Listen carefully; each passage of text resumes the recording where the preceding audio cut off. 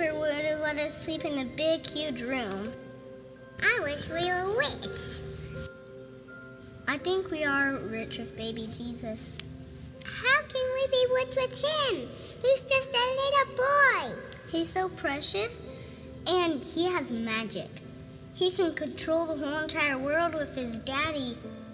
We talked about this a million times. How can he be savior of the world, and how can he control it? Joseph, you just have to trust. Ay. I'm taking his diaper off because he pooped in his diaper. God poop? Not God. Jesus pooped.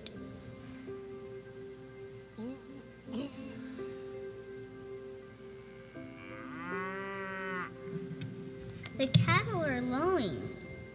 What's lowing? I don't know. I just heard the word lowing.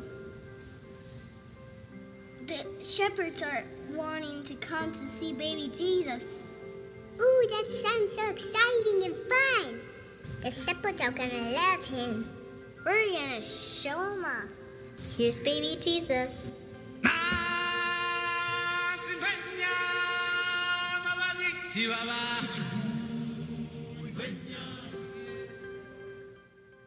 Joseph, I'm glad we got married.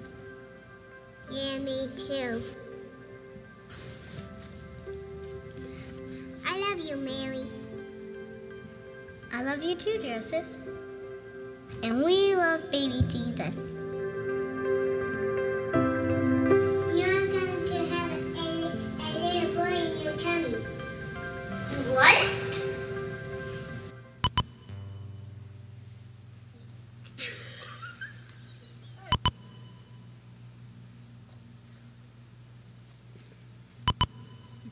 Heidi, you can't laugh.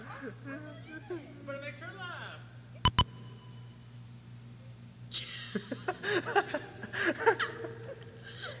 Stop it at the end of that.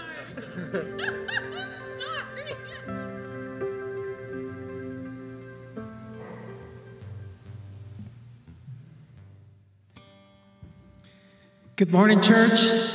Right where you are, let's worship our King.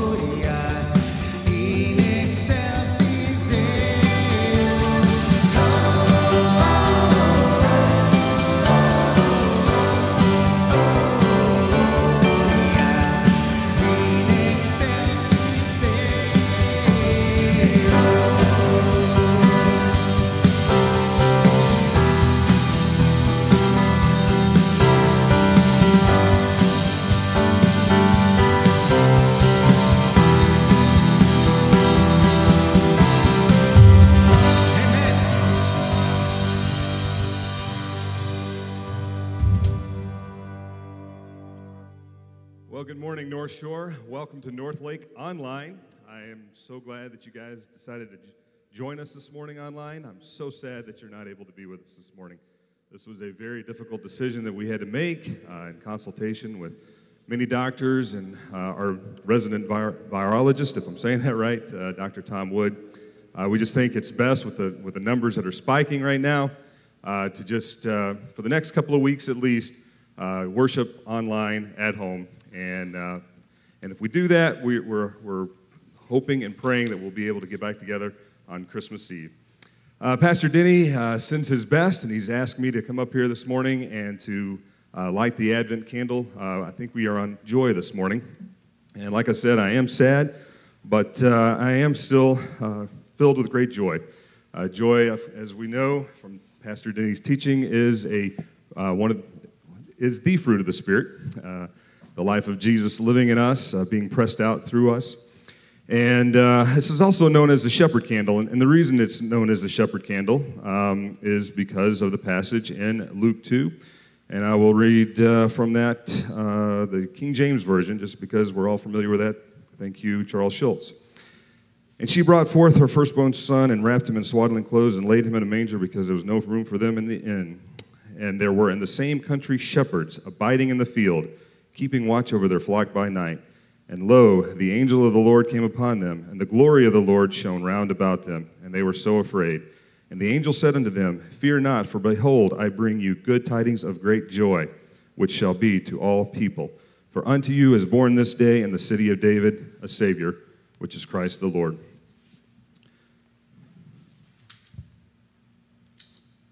Let's pray. Heavenly Father, we are such a desperate people. Oh, we need you, Lord. We, uh, we grieve, Lord, for those that we've lost.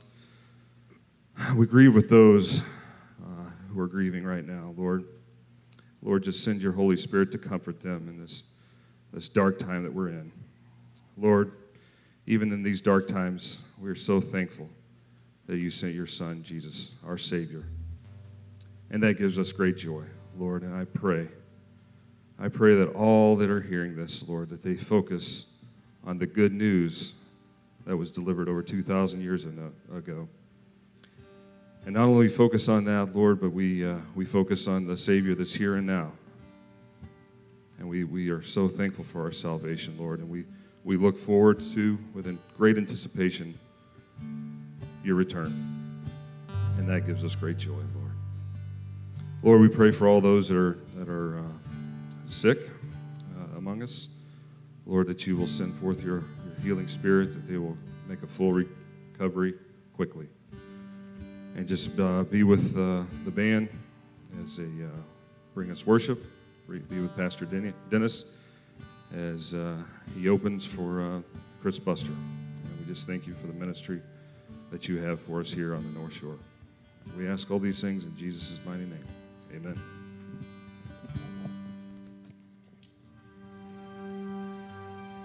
Let us continue in worship this morning.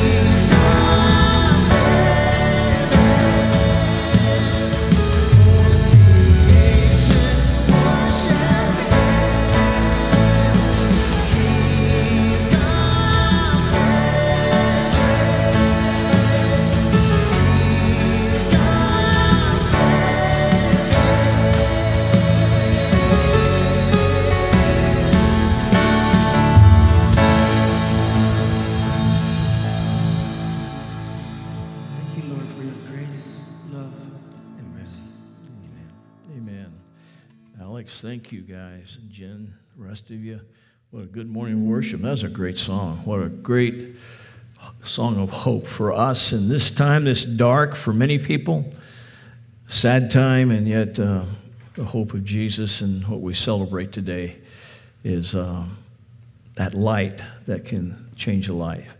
Well, this morning, if you uh, are watching today, thank you for uh, maybe the first time, or maybe you've been a guest with us here at uh, North Lake for a number of times and you just never have filled out a Connect card. I, I invite you to go online this morning. Just go to our website, mynorthlake.com, and find the Connect card there. And fill it out, and we'll have it virtually into us so that we might get to know you better. Uh, we'd love to be of any help to you. If you have questions, you have some needs, just be sure to write it on there or contact our office. Dan, who was up at the beginning, some of you might know, is the chairman of our elders.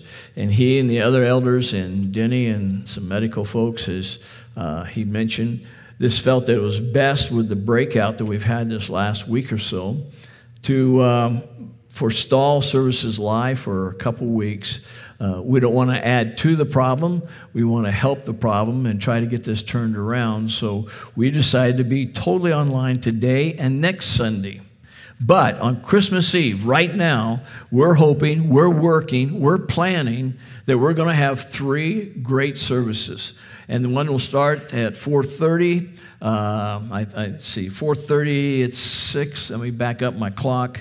Uh, but we have three so three. There goes 3 4.30 and 6 there we go. Uh, three services all identical. Our, our worship team um, Josh, all of us have been working. Denny's been working, and we're going to have a great Christmas Eve. So I hope that uh, you'll be ready to come back and uh, we're going to be praying that this thing's going to be over. Um, I've been up in Oklahoma over about once a month back to the church where I was at Fusion. And every time I've been up there, I've just kind of uh, dropped the idea. So, you know, we've been blessed at uh, uh, Lago Vista. We haven't had COVID virus breakout. And sure enough, it's our turn, it looks like. Our junior high, high school, as you know, closed till after Christmas. So that's why we're doing this. And um, We'll do it one more Sunday fully and then hope to see you all back, all right? Let me pray for us. Then I want to tell you a couple good things and get right into our message this morning. And so join me as you watch and let's pray. If you're there with your family or some friends, um, just have them join in with us together. Let me pray for us. Father, today, we do thank you that um, we have the opportunity to still carry on services. Even though they're online, it's a blessing for some because the only way they can watch right now and uh, with the COVID. And for us who have been here, it's still a blessing.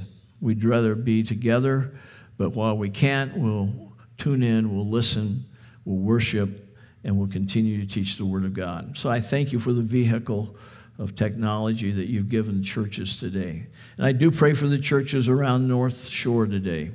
Um, I know many of them are going to be struggling the next couple weeks, like us, to continue to minister. So I pray that your, their staff, their, their volunteers, their key leaders will be able to uh, be available and functioning and serving. And so we do pray. And we pray for the North Lake community, Father, that um, though it's going to slow down possibly the next couple weeks, that the message of Christ, the joy of Christmas, the gospel will go out through individual believers to their neighbors and friends. And may we even look for those opportunities to overflow with a generous life of serving. And now I pray this morning for the word that I'm going to share, the continuance of our thoughts on freely given. I pray that there'll be thoughts that will encourage us as we look forward to the conclusion we look forward to the reward that's ahead for us. For I pray in Christ's name. Amen. Well, I wanted to share with you before I get in the message, though we've had a little struggle uh, the last couple days here on the hill with COVID, we didn't shut down the Christmas store. It was up on uh, Friday and Saturday. Uh, about 100 children are going to have a great Christmas because of North Lake family. And so I want to congratulate all of our church as you watch online today uh, for your generosity. Over $15,000 in toys and gifts were brought in by you. And uh, we just were able to bless a lot of families.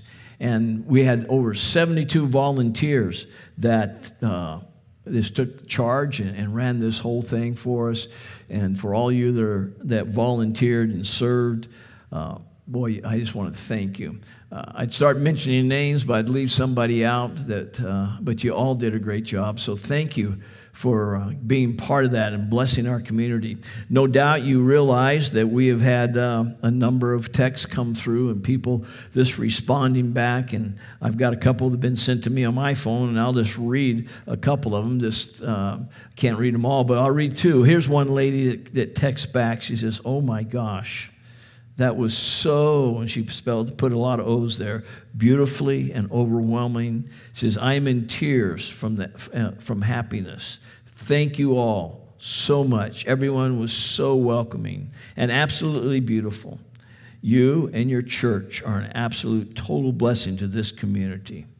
Says, I've lived in Lago Vista since 2011, have not found the church home.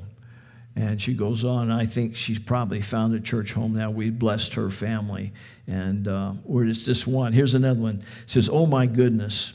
It says, I, a friend of mine went to Christmas uh, store and she was in tears on the way home and asked me so many questions on how amazing you guys were. And, and, and she said, Look at North Lake, they're, what they're doing. They're making Jesus so beautiful. And then one more, it says, one wrote back, says, We had a family of five here um, that had to cancel because of COVID. And as the report came in, said, But we're taking them their gifts and we're going to drop them off at their door. And not only that, we'll get a list of groceries and we'll go back and drop those off at the door also as we help take care of their home. And the lady was so grateful that she started crying. She says, What a great group of people are up there today at, at North Lake.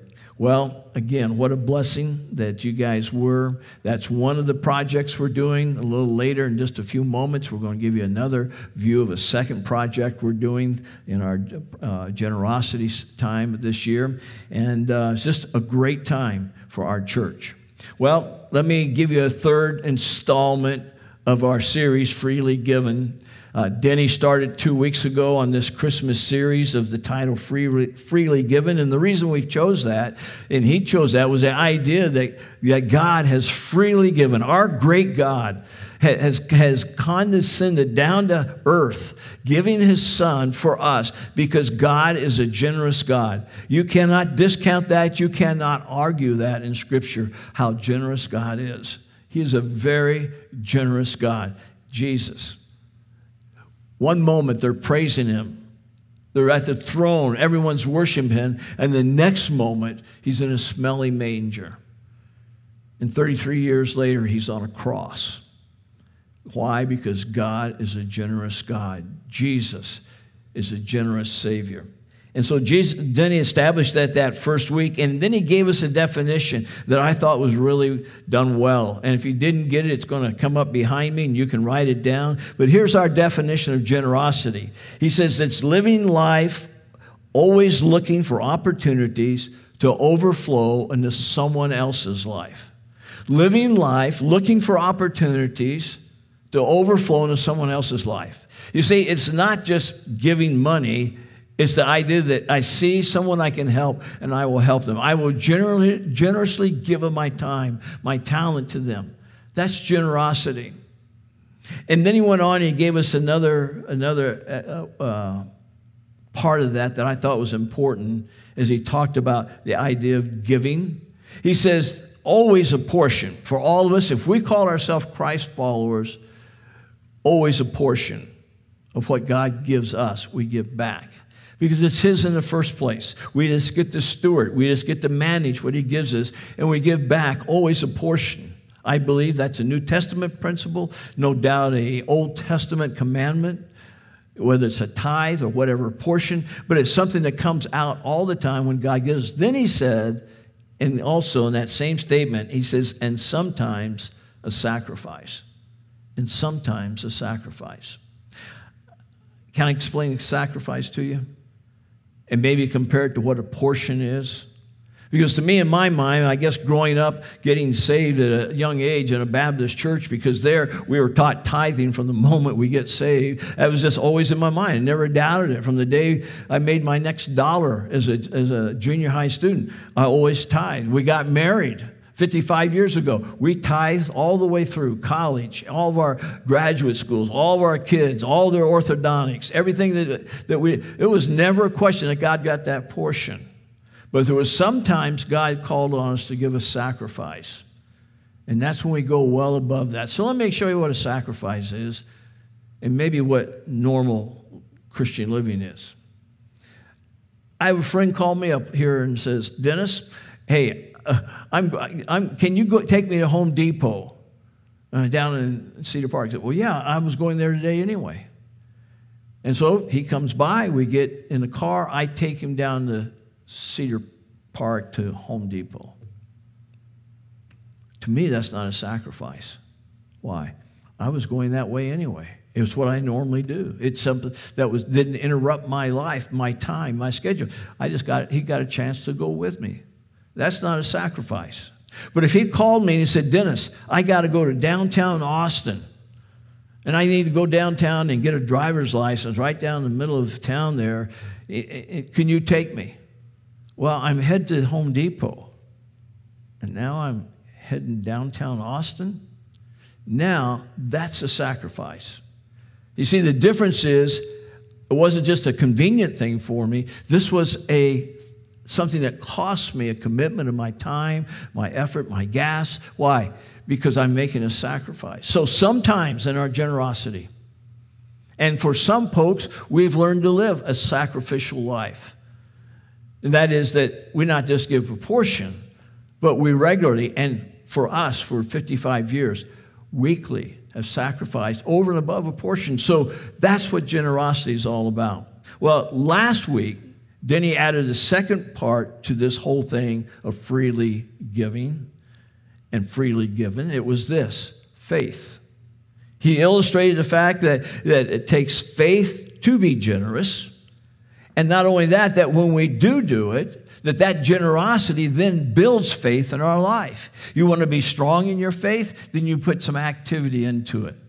And that is that we're generous, but it takes faith to do that. He closed out with Mark 12 with a little widow woman who took a mite and put it in the treasury, and Jesus and the disciples saw it. They were watching, and Jesus said, She's given more than everybody. Because you see, back in those days, they had these big pots that by the temple where people would give their offerings.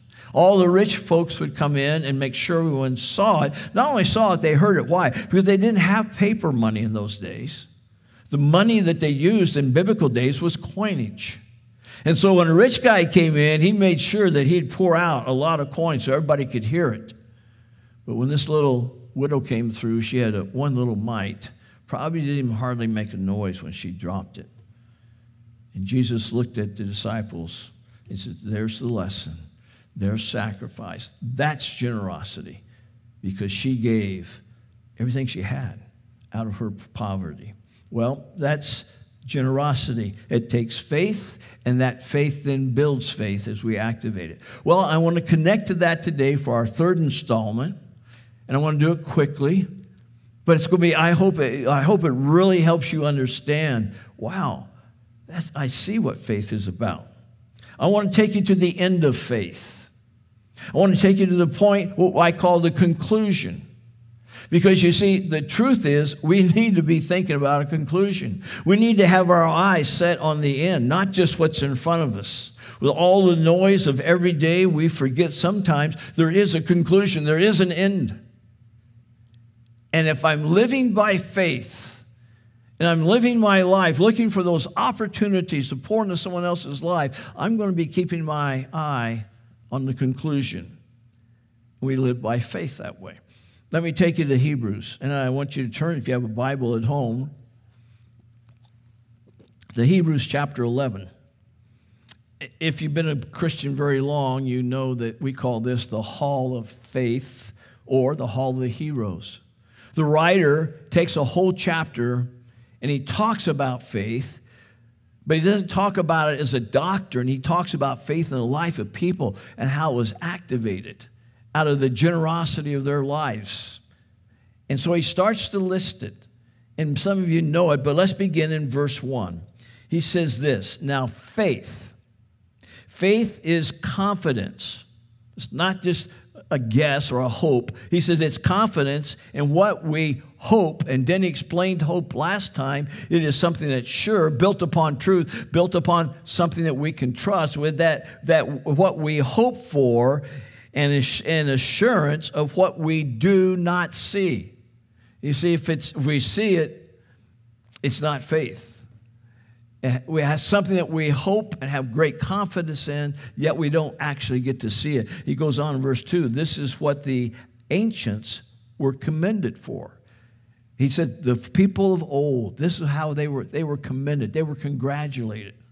And then he begins in verse 3, and he starts to take through there verse after verse, talking about those of the past. In verse 3, he says, By faith we understand the universe was formed as God's command, so what is seen was not made out of what was visible. By faith, and here's the first one he mentions Abel. And some of you know the story of Cain and Abel, brothers. And he, they both brought sacrifices and offerings. And Abel bought the one that God was pleased with because he gave it by faith. It says, by faith, Abel brought God a better offering than Cain did.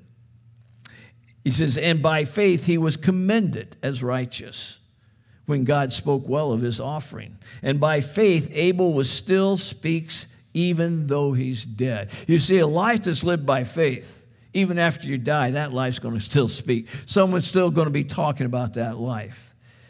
And as you continue to read, he just starts to put other names. Abraham, Abraham by faith left his own country going to work. God just told him, he said, go. And he said, where God? I don't know. I'm not going to tell you, just go. And by faith, he went.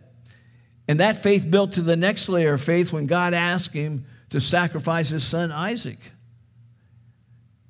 And he took him up to a hill. And he raised a knife. He was about to kill him and sacrifice him. And God stopped and that was the next building of his faith. And it goes through and starts to list others and Noah. And we get down to verse 24. We don't have time to go through the whole chapter. I'm just trying to give you the idea of this, of this great chapter. He says, And by faith, Moses. And most of us know that story. Moses it says, when he had grown up, because we remember last week when Brad was here, he talked about Moses being put in that, that river by his mother as a little child in that basket. And he ends up in, in, in Pharaoh's house. It says, and by faith, when he had grown up, he refused to be known as the son of Pharaoh's daughter. And he chose to be mistreated along with the people of God rather than enjoy the fleeting pleasures of sin. You see, he made a choice. When he saw what was going on with God's people and he realized these are the people that I am from, he says, I am going to not live in this household. I am going to go with them and serve and try to lead them. And he did that by faith. He generously poured out his life for others and denied himself the pleasures that he could have had back at that Pharaoh's palace. He goes on in verse 32. And the writer says, And what more shall I say? He's, he's been given example and said, Can I tell you more?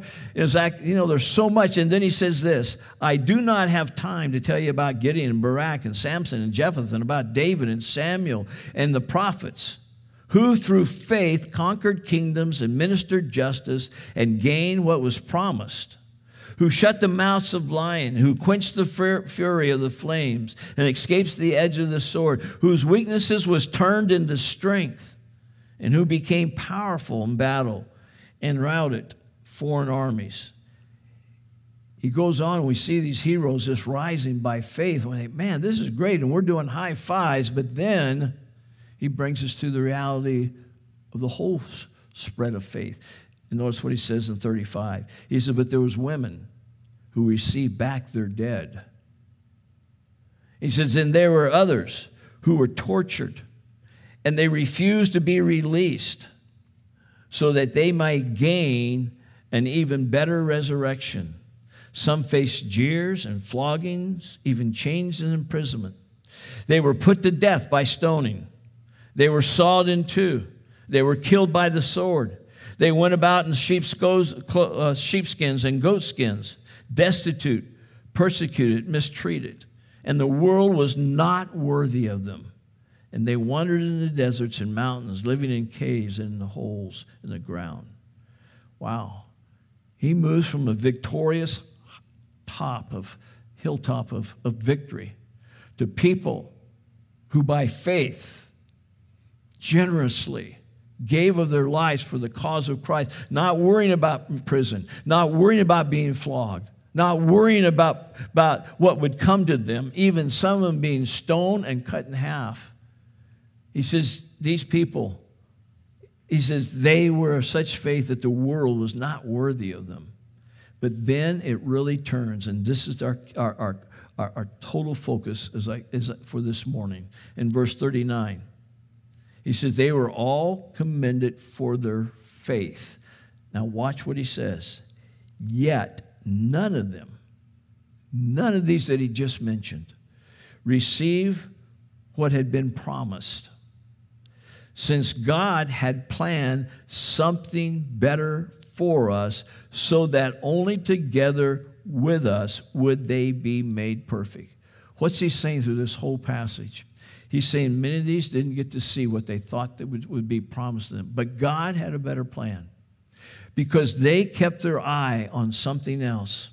They kept their eye on the ending and on the conclusion. So, right in the middle of all of these listings, we bounce back to verse 13 and we see the core that holds this chapter together. In verse 13, it says, And all these people were still living by faith when they died. They did not receive the things that are promised. They only saw them and welcomed them from a distance, admitting that they were foreigners and strangers on earth. People say such things, he says, people who say such things show that they are looking for a country of their own. And if they had been thinking of the country that they had left, Egypt for some of them, they would have had the opportunity to return. But verse 16, it says, instead, they were longing for a better country, a heavenly country. So, what is generosity? It's living my life looking for opportunities to flow over into other people's lives. It is living by faith. It is living by the sense that not only living by faith, that faith builds my faith. And the reason why, because there's a motivation. And there's a, and, and, there's a motivation behind it, and that is this I see a land that I'm going. This place is not my home. I'm a foreigner, I'm a stranger, I'm here on a visa. This place is my is a place where I am an alien, so I'm looking forward to something else. So I do not measure my life by what I hold and what I keep. I measure my life by the conclusion that I have a better place than this. And when I keep my eye on eternity, generosity flows out of my life. I don't measure time, I don't measure talent, I don't measure money, it just flows. And it flows in the opportunities that come every day. And that's why these people, this hall of faith, the heroes that went before us, that's how they lived. And that's how they lived generously before others, knowing there's something better. Here's the thing that we have to remember as God's people and that is this this is not our home.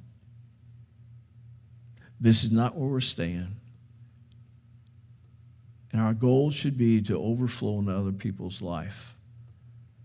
And you say, Dennis, well, that's good talk, but do you practice that? And I can tell you, and I try not to say this boastfully, that for all of our lives in our marriage of 55 years, we have practiced this over and over. Not because we wanted to talk about it, but because it brought such joy, it brought such peace, fulfillment, and it kept our eye on where we're headed to the end, to our reward, because generosity leads to our reward. Now, there's one more verse, and I close. At that verse 16 continues in chapter 11.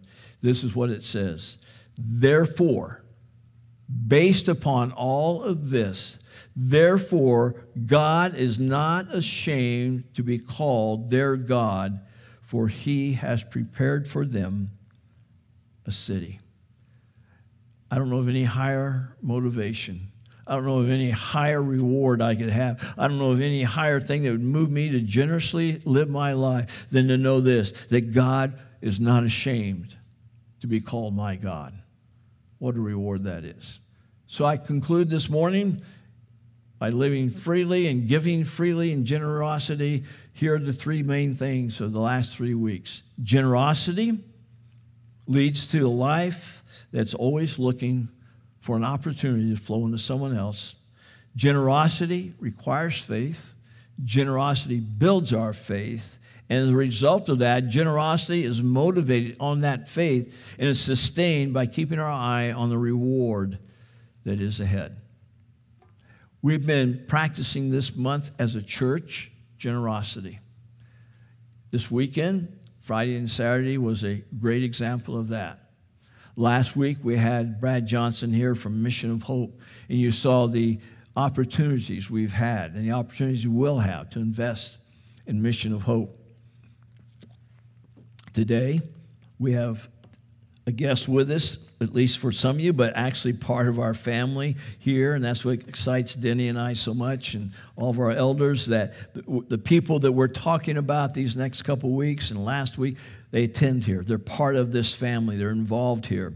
And so today we're going to watch a quick video, and then I'm going to inter- introduce Chris Butler to you. So watch the screen and let's learn about what's going on in Dominican Republic.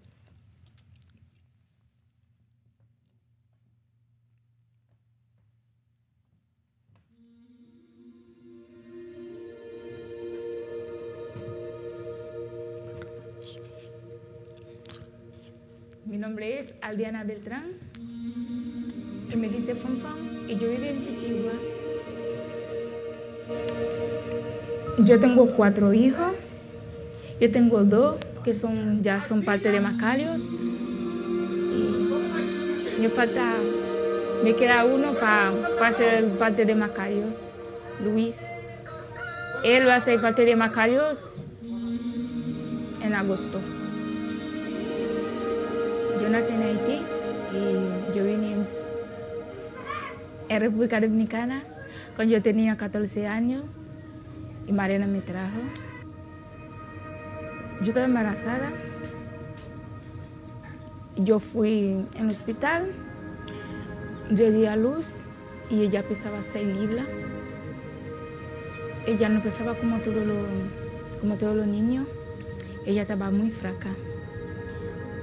Y Shara llegó aquí y Shara me ayudó, me, da leche, pampe, ella me da de todo.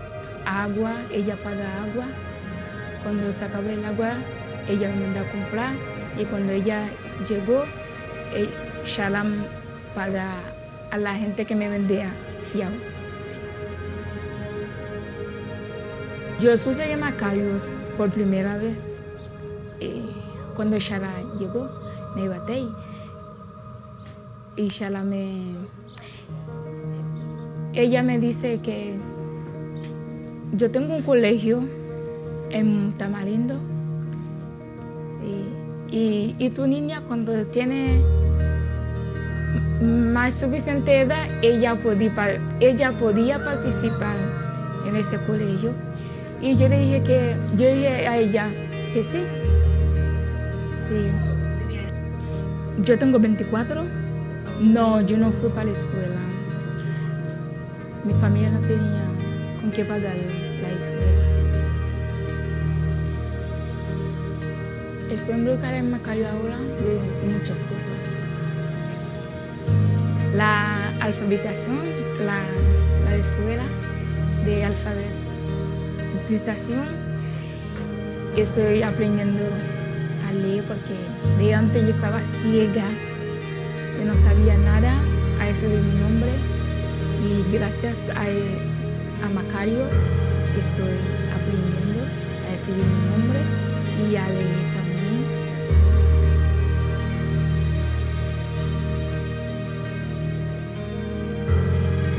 Gracias a Dios primero y gracias a Macario me ayudaron mucho, muchísimo. Yo tengo dos niños que están ya en Macario, ya ellos están aprendiendo lo que yo no podía darle a ellos y ellos están aprendiendo mucho. Y gracias por eso. Macayo significa una familia para mí. Sí, una familia que yo nunca tuviera tenido. Macayo es una familia para todos.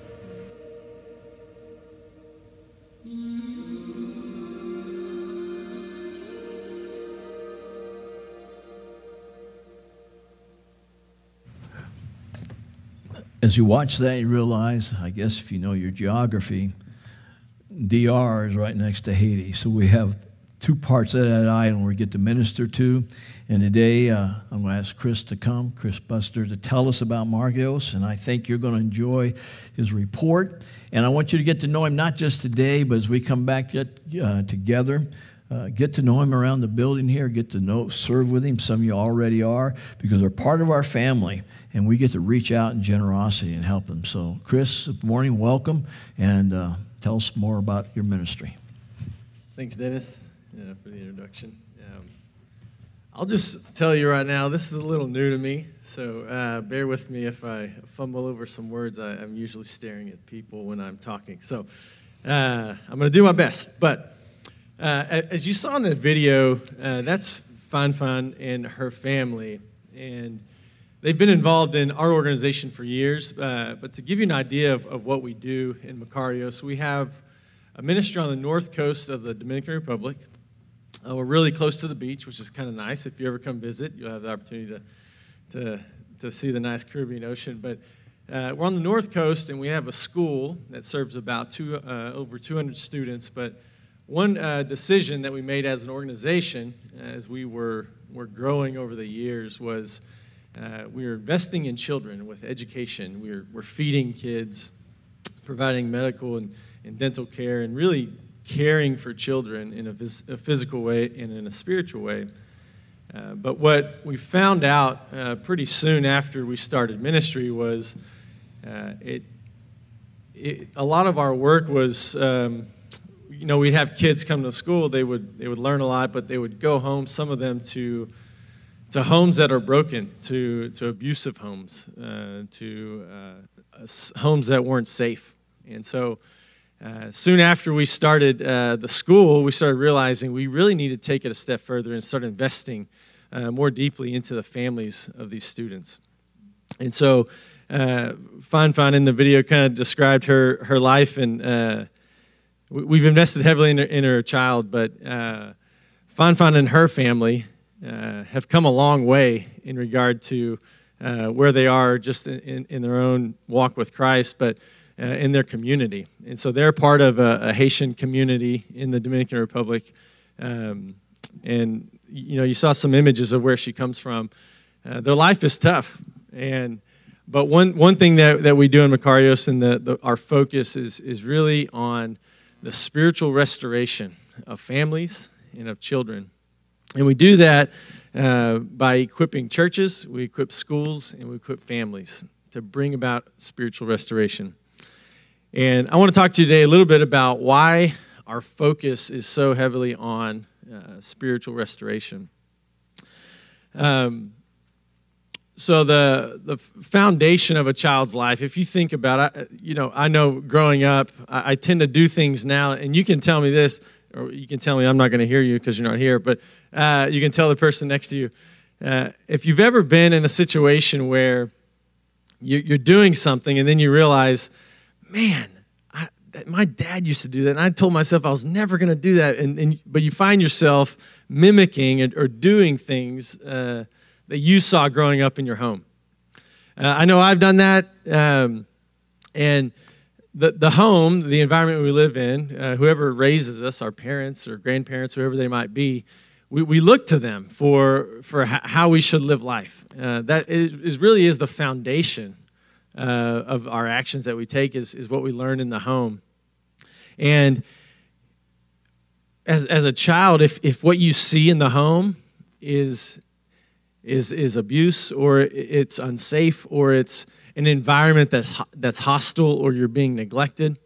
Uh, the, the effects that has on you that, that has on you as you grow up are, are very significant. And uh, the difference that we're trying to make and that, that we're making in the lives of, of individuals in the DR is, is really investing in uh, these families. And so um, I want to share a really brief story from my own life. I'll try to be brief. Uh, I'm going to pack a lot into a little, a little period of time here, but um, it expresses a little bit about what, it, what could have been if someone would have invested into, um, into my own family. So I came to know Christ in high school. Uh, I had this guy come into our high school. He was a young life leader, and he really um, spent a lot of time with me. But at the time, I didn't grow up in the church. I kind of grew up in this this family. My fortunate enough to have my uh, mom and dad were both together uh, growing up, so I was very fortunate in that way. But uh, my relationship with my father was pretty distant. I didn't uh, we didn't have a lot of conversations. He was an alcoholic and it was it was tough growing up at times, really wanting to have uh, a dad that I, I, had a relationship with and had influence on me, but it, it wasn't that way.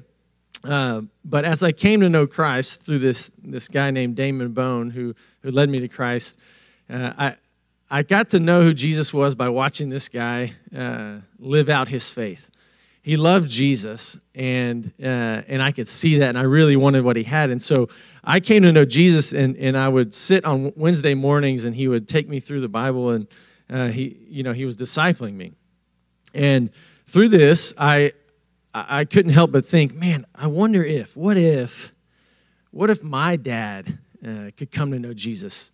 What would his life look like? What would, how would that affect our whole entire home? I have two sisters and and my mom and and and I, I started thinking, man, my, if my dad only knew Jesus, uh, this family could look totally different. And so one day, Damon was coming to, to my house to pick me up to go. I think we were going to play basketball or something, but he was coming to my house to pick me up, and, and uh, he came in the house and he, he met my dad. And at this point, uh, I'll just tell you, my, my thought at this point was, man, he's about to meet my dad, and then he's going to get to know my dad, my dad's going to see Jesus in him just like I did. My dad's going to come to know Christ, and, and life is going to look totally different in our home. That, those were the, that, that I was thinking these things in my head. I had these hopes and these desires. And so uh, Damon came in, he met my dad, and then uh, we ended up leaving, played basketball, did whatever. But uh, the reality is, nothing actually came of that. Uh, my dad never came to know Christ after that. Um, after that, I I had a lot of hopes though as a child to to see my dad come to know Christ, uh, and I and I always wondered what would have been. What would life have looked like if he'd come to know Christ? And I'll tell you this: I, my dad passed away four years ago, and um, the blessing that I that God gave me and our family uh, two weeks before my dad passed away, he was he had cancer and he was in the hospice, and my mom called one day and said, "Hey," uh, and my dad was already kind of towards the end, and, and she said, "Hey," and just let you know, my dad never went to church. he wouldn't darken the door of a church. Um, and he said, my mom called and said, Dad wants to have a service at the house. He wants you to come uh, lead a service at our house. And so, uh, so I went to Fort Worth. I sat in our living room and I, I read through the Bible. We prayed together as a family. We worshiped, and I read scripture. And I read the scripture about how Jesus was on the cross and he had two thieves that really deserved what they were getting uh, on the cross. Um, and I explained how, or, and I read the scripture, and my dad uh, saw himself as one, as the thief. Uh, that, that wanted to be with God in paradise forever. And, and my dad gave his life to Christ two weeks before he died. Um, and I'll tell you, life started for my dad that day. His life began two weeks before he died on earth. Uh, but I always think, what could have been? What could have been if my dad would have came to know Christ earlier in life? How would that have transformed our family? Uh, I'm so grateful uh, that, that I get to be with my dad again. Um, but I will say this uh, the work that we're doing with in these vulnerable communities is we're trying to, to hit at the root cause of the problems that we see. Uh, in the Dominican Republic, uh, specifically on the North Coast, it's one of the highest in prostitution in, in, in all the world. Uh, sex trafficking is a, a, really major problem. And in these poor communities, uh, without, and the reality is this, guys, it's not, it's not a problem of poverty, of not having enough stuff. I mean, here in America, we've, you know, stuff doesn't fix problems. Um, what, what we're working towards is, is fighting uh, and trying to really attack the, the root problem, the root issues, which is ultimately a spiritual issue. And it's us not fully knowing who God is and realizing that He provides life for us now after we die and through eternity. And so, um, Dennis, we've been talking about generosity a lot in, um, over the last few weeks, and I want to make a, a, quick case uh, for, for your investment in, in the work that God's doing here at Northlake and in Mission of Hope and in Makarios and Stadia and, and the other uh, organizations that God's brought Northlake to, to have an impact, and local organizations here too. I want to make a case uh, real quick before I, before I close as to why it's so important that you invest your time, your talent, and your treasure. Uh, your treasure meaning your financial resources. Uh, God's gifted all of us in a lot of different ways. Um, the reason it's important is this in Mark 12, uh, verse 30. God gives us, uh, or Jesus is talking, these religious people are asking Jesus. He wasn't too fond of religious people uh, because they were kind of, you know, uh, really boastful and about themselves. And but these religious leaders are trying to catch Jesus in you know in a lie or something. But they're asking him, you know, what's the greatest commandment? Because they knew what the Old Testament said about, um, you know, the scriptures. And Jesus said this. He said, and this is what he commands. He commands this from you and from me. He says, Love the Lord God with all your heart, with all your soul, with all your mind, and with all your strength. That's the greatest commandment. So, whenever I think of why it's important to invest your time, your treasure, your talents, the way that God's gifted you, why is it important? Because God commands you, and He commands me, to love Him with every part of who we are. He doesn't command us to love Him uh, when we pray or when we read the Bible or when we come to church. He commands us to love Him with our mind. How do you do that? He commands us to love Him with our strength. How do we do that? He commands us to love Him with our soul and with our heart. Every fiber in your being, God wants you to love Him with it. That's what He commands of us. So when I think of what's the, what's the best way we can invest our time? What's the best way you can invest your, your finances? Or the giftings that God gives. He, he's given you a gift. He's given you talents. What's the best way to invest those? Well, let's I, I would say this. There's two ways to invest your time, your talent, your treasure.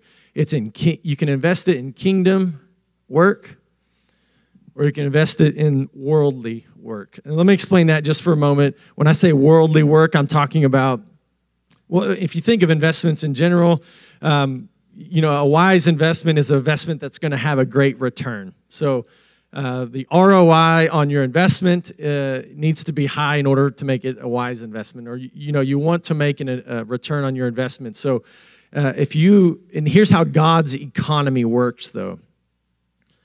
Um, when you invest in kingdom work, 100% of the time, it's going to have a kingdom return that lasts for eternity. Okay? When you invest in worldly work, sometimes you're going to get a return that's temporary. Okay? Every single time you invest in worldly efforts, you're going to get a return that's temporary.